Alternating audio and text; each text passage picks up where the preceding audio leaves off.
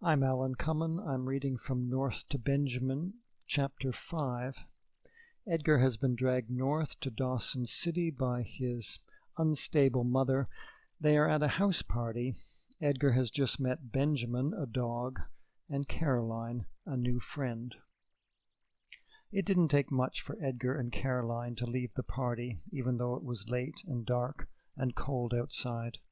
The adults were still singing and dancing. Edgar saw his mother in the living room on an old couch, sitting quite close to Cease, and she had a beer in her hand. When she saw Edgar with Caroline and Benjamin, she called out, "Oh, Edgar, is that the dog? God, he's huge!" "He's a Newfoundland," Caroline said. "Pretty stinky these days. We won't be long." Benjamin sniffed, sniffed in the general direction of the party a room full of people who might pet him if he stopped long enough. Caroline pulled at his collar. Victoria was on the other side of the room talking to the tall, tall man, William, but she was looking at Edgar's mother and at Cease. Edgar glanced back at his mother, but she wasn't noticing Victoria, or she was pretending not to notice. Edgar swallowed. He couldn't think of what to say, then Benjamin started forward after all. The road outside was slippery with ice and snow, and Benjamin walked like he was afraid to fall. They had a leash for him, though Caroline had said they would not need it much. Benjamin didn't run any more. What grade are you in? Caroline asked. Edgar kicked a chunk of ice, and it spun down the road until it hit something and broke into several pieces.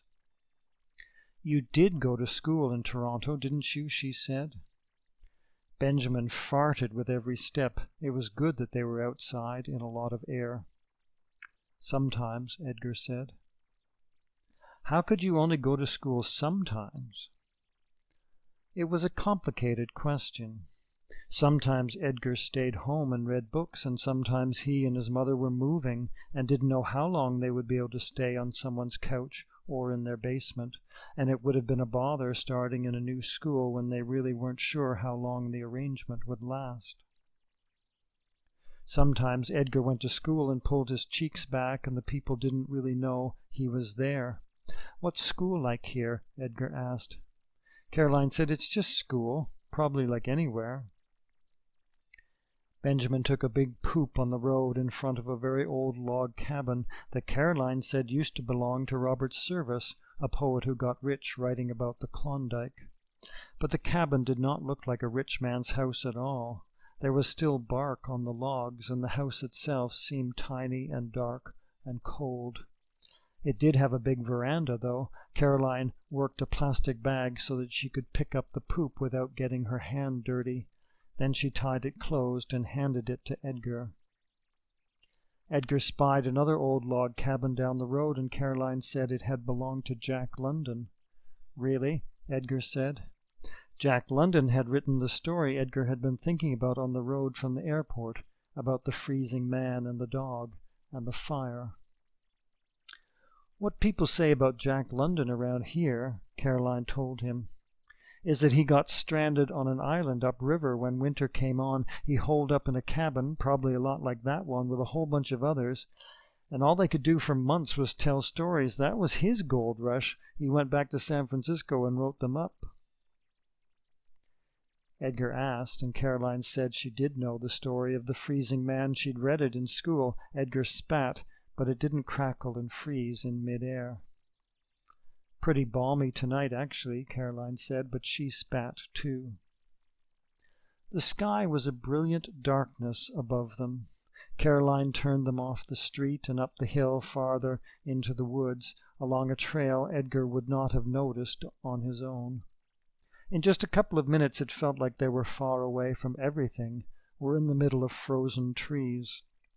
Benjamin was happier with the footing, and he seemed to like stopping and sniffing. Caroline said, Listen. Just listen. So they stood still. Benjamin snorted and huffed, and Edgar felt he could even hear the dog's drool dripping onto the snow and freezing there slowly. He could hear his own breathing because he was puffing still from climbing the hill. As he listened further he could hear the sounds of the party, the music, laughter, a song about a man riding a motorcycle. And even farther away he could hear the sound of an engine, a car or truck coughing into life. A dog howled. Benjamin pricked up his ears. It was a lonely sound from far away.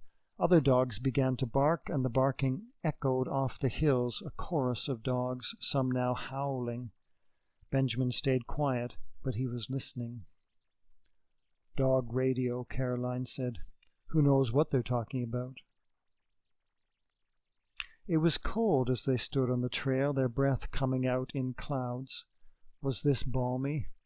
Edgar felt like his cheeks were becoming thicker, maybe even freezing, but it didn't hurt. There was no wind at all.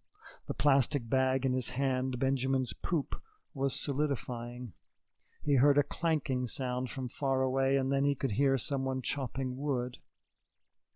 She was fine to just stand still, this girl, Caroline. She didn't need to be talking all the time, and neither did Benjamin. But there would be things to say. He and Benjamin and maybe even Caroline were going to be great, great friends. Finally Caroline said, "So who's your father?" More chopping in the distance. Edgar imagined a big man in a lumberjack shirt with one of those double edged axes from old pictures. But that couldn't be right. An axe like that would have been for cutting down a tree, not splitting wood for the fire. "Don't answer that if you don't want to," Caroline said finally. "Lots of families here don't follow any traditional pattern, as you see from my family." She shrugged. Benjamin sniffed at Edgar's boot for a moment, then nuzzled him gently, but it was almost enough to knock Edgar back a step. "He likes you," Caroline said. "My father is a musician somewhere," Edgar said. "I don't know him. He and my mum were just friends. She has a lot of those." "Victoria's a singer," Caroline said, "and my dad is a killer drummer. You should hear them together." "My mother's a singer, too," Edgar said. "Sometimes." "Yeah, well, Victoria's really good," Caroline said. Yes. He could imagine it. He could imagine it all coming to a great deal of trouble. They listened some more. Then they headed back down the trail.